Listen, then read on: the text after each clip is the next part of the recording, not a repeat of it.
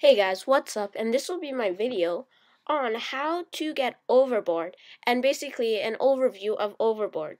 So what Overboard is, is just like Exposé on your iPhone from Cydia, but it just has a few minor enhancements which makes it a little better, but yet you still have to pay for it. But I'll show you in this video how to get Overboard for free. So here's the overview of Overboard right here. Has a nice little icon right there with lots of windows.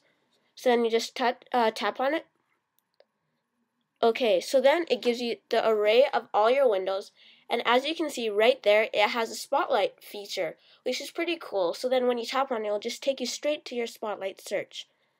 And opening up the application again, it just gives, it's just like Exposé.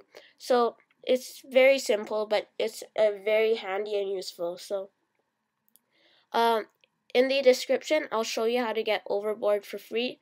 Just follow the steps in the description. So, thank you for watching this video. Please subscribe and rate 5 stars. Thanks for watching.